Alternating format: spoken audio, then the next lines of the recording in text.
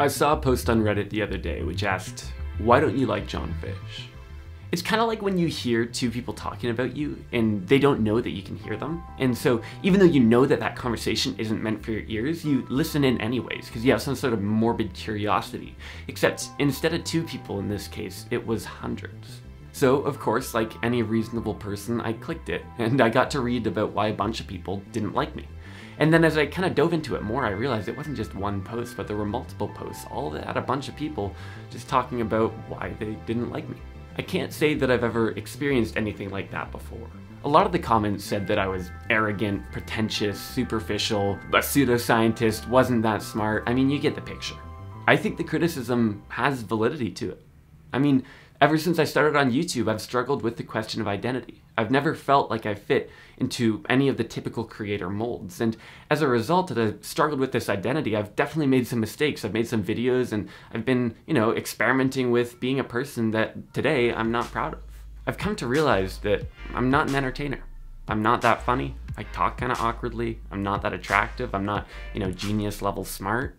I'm not a Hollywood level filmmaker. I'm not a crazy entrepreneur. I'm just me. As a result, I don't really fit into any of these molds of creators. I post videos because I'm just trying to figure out who I am and who I want to be. And I know that some people benefit from following along in that process, on that journey. I love the creative process. I love making things, but posting things, I wouldn't do it unless I thought that some people would get some benefit from it. And if people didn't get benefit from it, then I wouldn't post.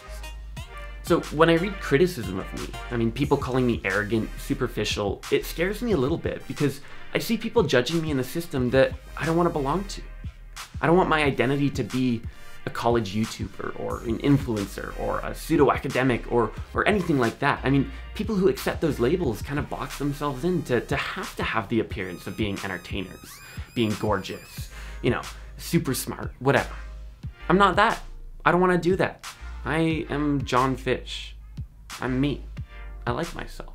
I mean, I get to be my own best friend.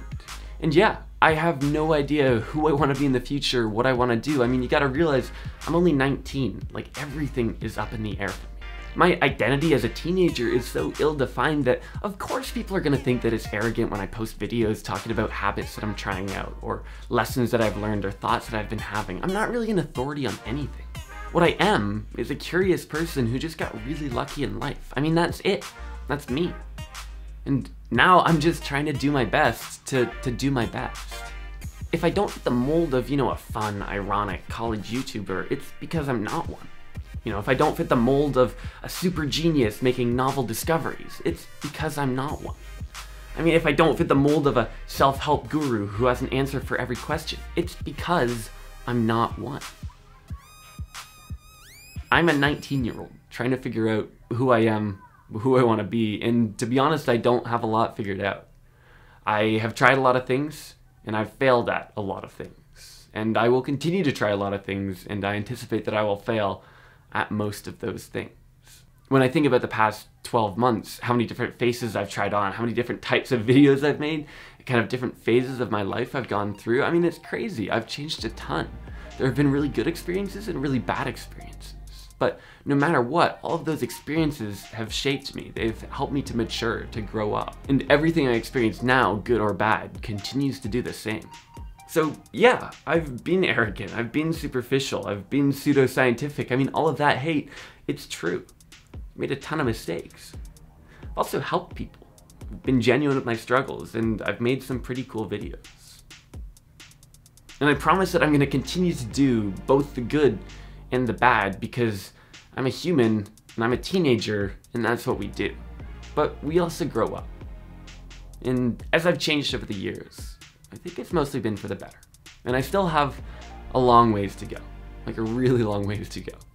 But I'm starting to learn that it's not really about the end point, because I doubt I'll ever be in a place where I'm fully happy with who I am, or where everyone is fully happy with, with who I am. That's just not feasible. What I'm starting to learn is that it's about the journey.